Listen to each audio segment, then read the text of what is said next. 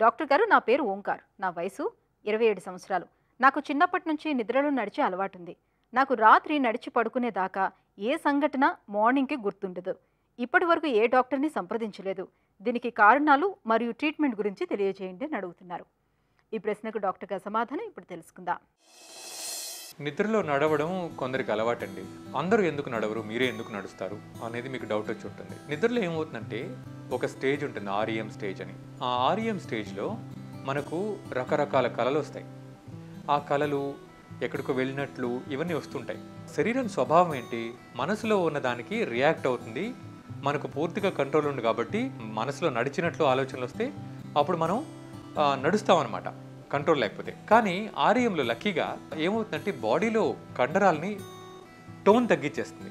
దానివల్ల ఏమవుతుందంటే కళల్లో వచ్చిందంతా మనం చేసి చూపించాం. సపోజ్ ఆ టోన్ తగ్గలేదనుకోండి అప్పుడు వచ్చిన కళలంతా నిజమవుతాయి. అది కళలు నిజమవుతాయని మీరు సంతోషించవచ్చు ఆ కళలన్నీ ఎట్లాంటివో దాన్ని బట్టి ఉంటుంది మీరు నిజమవుతాయి మీకు కరెక్టా కాదా అని.